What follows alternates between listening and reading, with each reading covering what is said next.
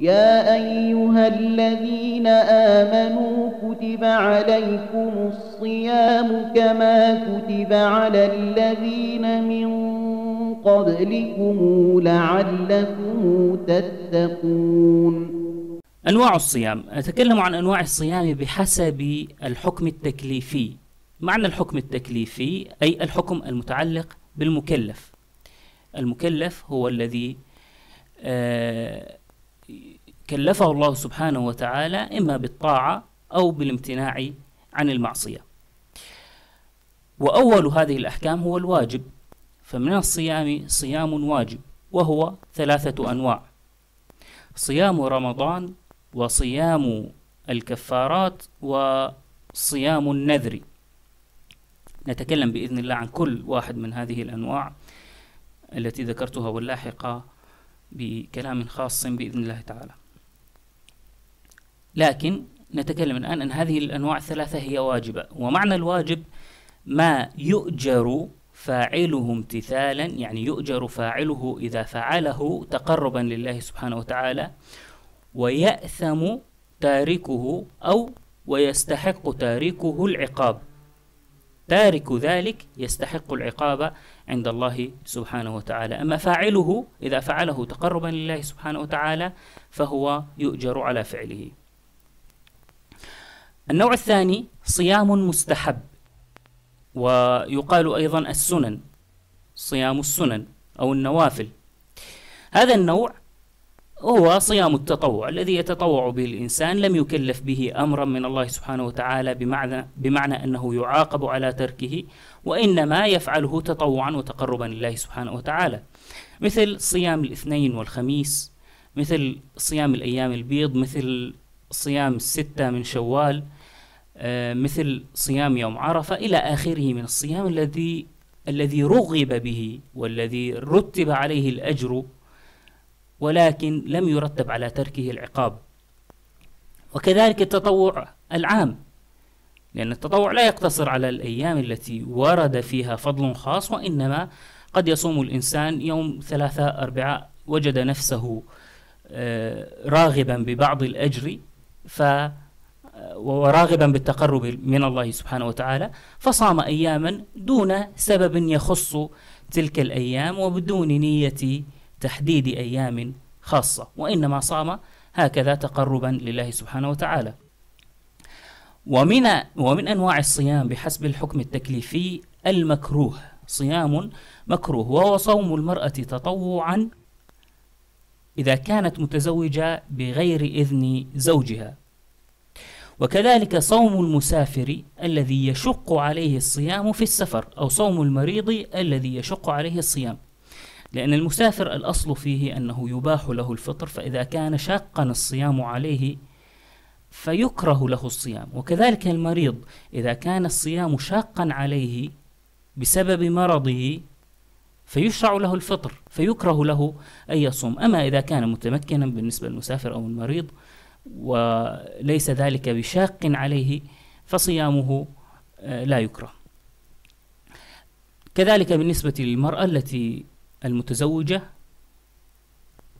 يجب عليها استئمار زوجها أو استئذان زوجها إذا أرادت أن تصوم صوما تطوعا حصرا لأن الواجبات لا تستأذن فيها أحدا لأن الله سبحانه وتعالى أمر بها. ونأتي كما قلنا على هذه المسائل بإذن الله. ومن الصيام صيام محرم لا يجوز أبدا وهو صيام يوم الفطر أو صيام الأعياد وهو صيام يوم الفطر وصيام يوم الأضحى وصيام أيام التشريق. يوم الفطر هو أول يوم بعد رمضان. نقول عيد الفطر وهو يوم واحد. لأن يعني الرسول صلى الله عليه وسلم قال يوم الفطر ويوم الأضحى عيدنا أهل الإسلام. فالفطر يوم والأضحى يوم. لكن الأضحى يوم الأضحى يأتي بعده ثلاثة أيام أيضا هي عيد أيام التشريق تسمى. فالعيد الكبير كما يقولون هو يوم أضحى وثلاثة أيام تشريق فيصبح أربعة أيام مجمعة أما آه، يوم الفطر فهو يوم واحد. وصيامها محرم. وكذلك من الصيام المحرم صيام يوم الشك. يوم الشك هو اليوم الذي يكون قبل رمضان أو اليوم الثلاثين من شعبان.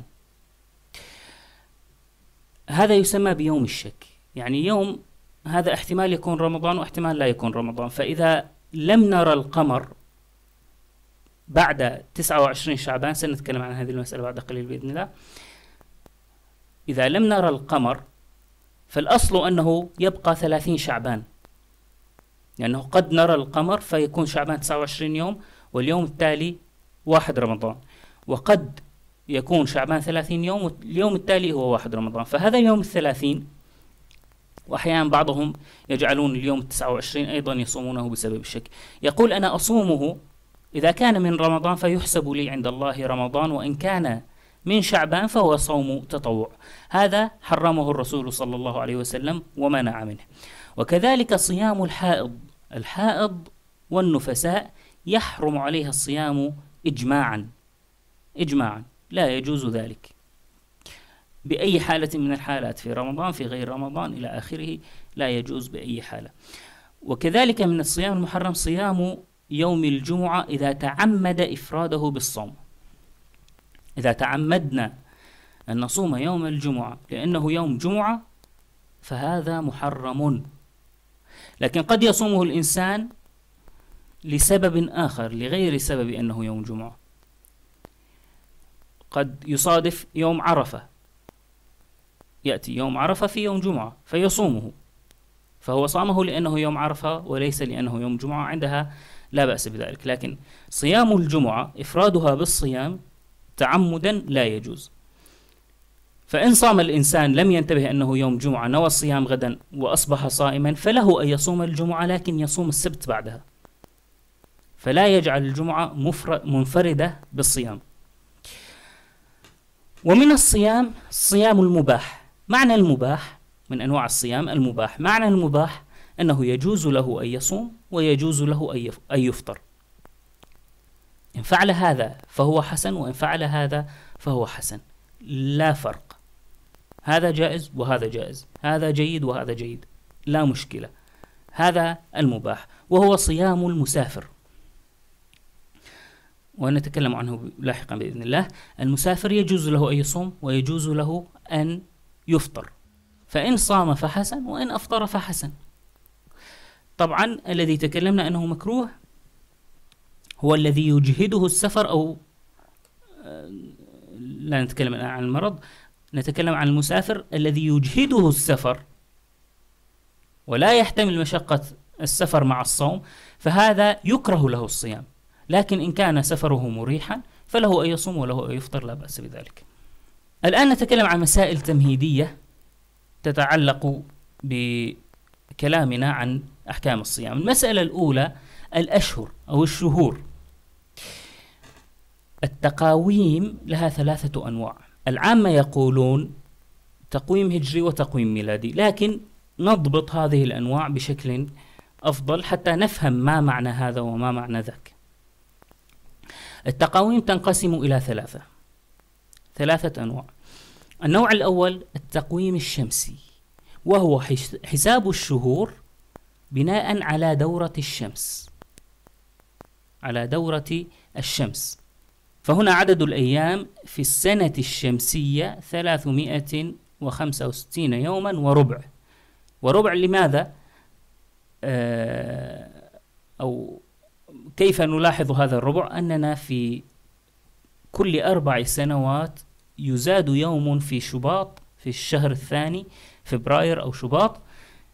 هو في الأصل 28 يوم يجعل 29 يوم. بسبب الربع لأن كل سنة فيها 365 يوم وربع. هذا الربع يجعل كل أربع سنوات يجعل في شباط حتى آه، لا تختل الحسابات. حسابات الصيف والشتاء وما شابه. طيب هذا التقويم هو الذي يستخدمه النصارى. هذا التقويم هو الذي يستخدمه النصارى. اليوم يسمى التقويم الميلادي. لماذا يسمى التقويم الميلادي؟ لأنهم جعلوا السنة الأولى فيه هي سنة مولد المسيح عليه الصلاة والسلام مع وجود خطأ لأنه ولد قبل أربع سنوات من من السنة الأولى في التقويم لكن هذا بسبب خطأ لأن لم يؤرخوا أن السنة رقم واحد هي سنة مولده إلا بعد تقريبا بمئات السنين. فعندما حسبوا السنة الأولى لولادته حسبوها خطأ فهو كان ولد قبلها بأربع سنوات. عموما هذا يسمونه الميلادي لأنه بدأ استخدامه أو عفوا لأن السنة الأولى فيه هي سنة ميلاد المسيح عليه الصلاة والسلام. التقويم الثاني النوع الثاني من أنواع التقاويم هو التقويم القمري. التقويم القمري يعتمد على دورة القمر حول الأرض. الأول حسب دورة الأرض حول الشمس والثاني الذي هو القمري حسب دورة القمر حول الأرض.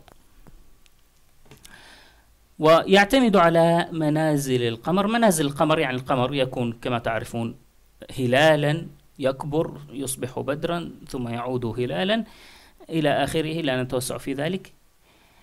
فطلوع هلال جديد لأن القمر يبدأ هلالا ثم يصبح بدرا ثم يعود هلالا ثم يختفي. يختفي تماما. عندما يطلع الهلال مرة أخرى هذا اليوم يكون يوم جديد في الشهر أو يكون بداية الشهر. فهو أول ما يطلع يطلع في الليل. طبعا هذا التقويم هو تقويم المسلمين. المسلمون يستخدمون هذا التقويم سنأتي على ذلك بعد لحظات بإذن الله. المسلمون هذا تقويمهم. تقويمهم قمري وليس شمسي. طبعا للأسف اليوم نحن كل بلاد المسلمين تقريبا أصبحت تستخدم التقويم الشمسي الميلادي. يعني هذا نوع من الاستغراب للأسف. استغراب الذي هو التأثر بالغرب أو آه الله المستعان. لكن تقويم المسلمين هو التقويم القمري وليس التقويم الشمسي. عدد أيام الشهر القمري 29 أو 30 يوما. التقويم الشمسي يعرف أن الشهر الأول 31 يوم الشهر الثاني 28 يوم وكل أربع سنوات يصبح 29 يوم. الشهر الثالث 31 يوم الشهر الرابع 30 يوم. معروفة. لكن التقويم القمري قد يكون 29 وقد يكون 30 قد يأتي الشهر الأول 29 والشهر الثاني 29 قد يأتي الشهر الأول 30 والشهر الثاني 30 لا يوجد شيء يحدد 30 أو 29 إلا رؤية القمر.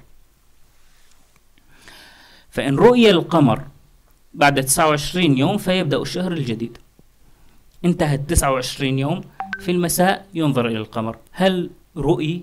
إذا رآه الناس فعندها يبدأ الشهر الجديد. وإن لم يرى فيبدأ الشهر الجديد بعد اليوم الثلاثين. ما رأيناه بالتسعة وعشرين؟ فغدا يوم ما رأيناه بعد نهاية تسعة وعشرين غربت شمس التسعة وعشرين. ننظر في السماء لم نرى قمرا إذا اليوم التالي ثلاثين. رأينا قمرا إذا اليوم التالي واحد من الشهر التالي. إذا ما رأينا القمر فحصرا الشهر التالي سيكون بعد غد. عدد أيام السنة القمرية ثلاثمائة وأربع وخمسين يوما. وثلث. فهي أقل من السنة الشمسية بأحد عشر يوما. لهذا نجد أن رمضان مثلا هذا أكثر شهر يلاحظ أو الحج كل سنة يأتي قبل عشرة أيام. فيأتي بداية مثلا يأتي الآن يأتي حاليا في الصيف. بعد عدة سنوات نجده يأتي مثلا في الربيع. بعد عدة سنوات يصبح في الشتاء. بعد عدة سنوات يصبح في الخريف. ثم يعود إلى الصيف. وهكذا. وكذلك الحج. لحكمة من الله سبحانه وتعالى. يعني تنويع الأجر. مرة نصوم في الحر مرة نصوم في البرد. من حكم الله سبحانه وتعالى. طيب. النوع الثالث من أنواع التقاويم وهو تقويم شمسي قمري ما هذا التقويم الشمسي القمري؟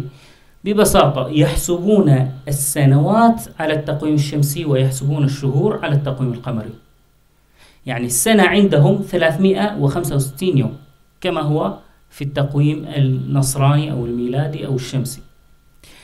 أما الأشهر عندهم فهي 29 أو 30 يوم بحسب دورة القمر.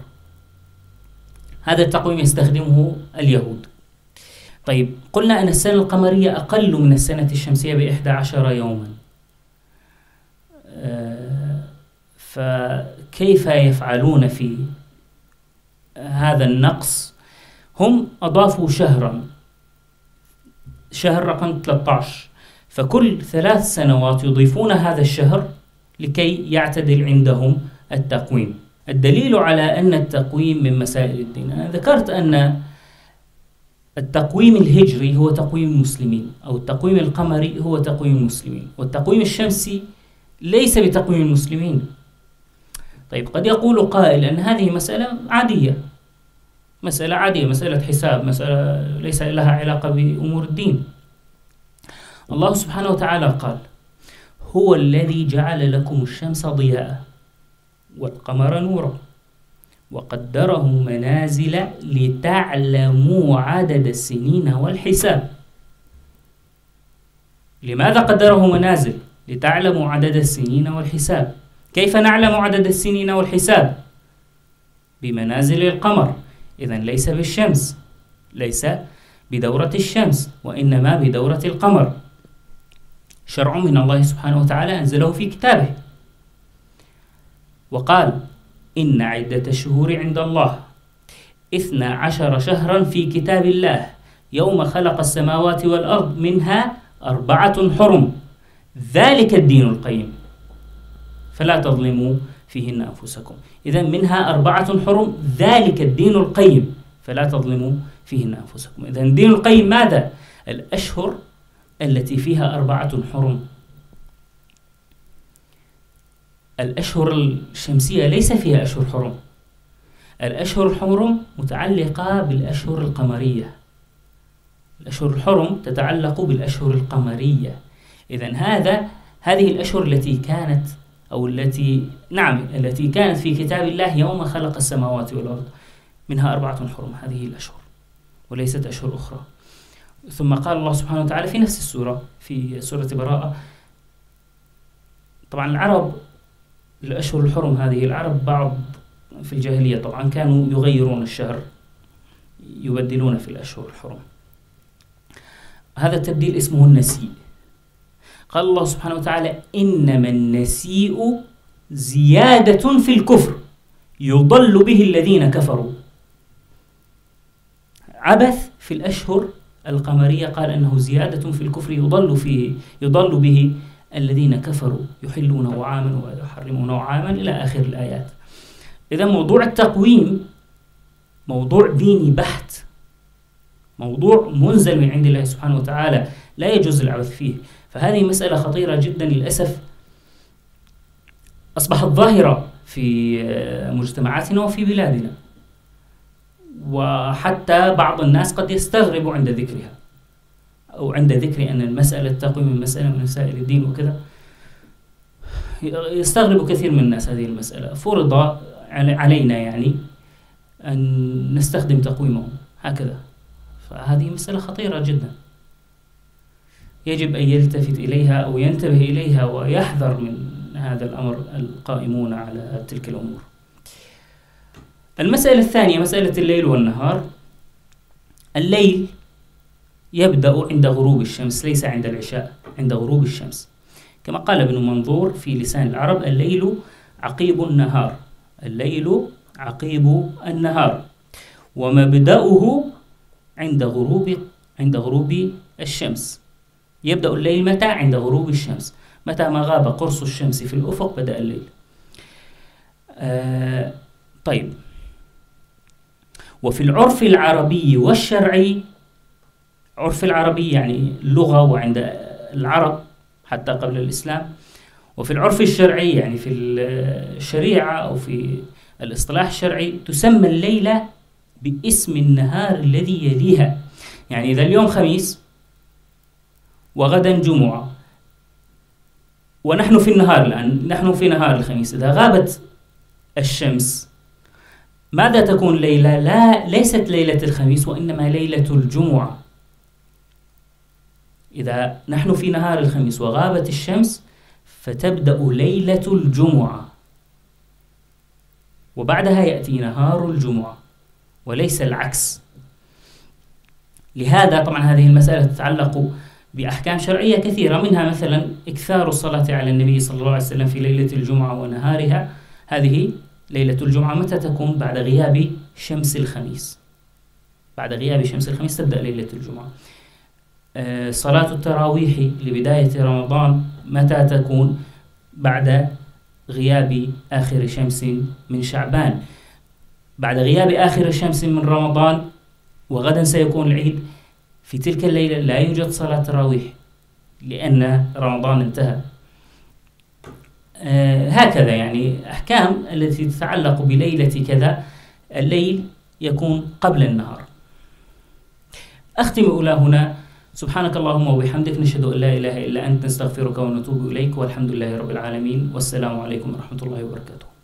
يا أيها الذين آمنوا كتب عليكم الصيام كما كتب على الذين من قبلكم لعلكم تتقون.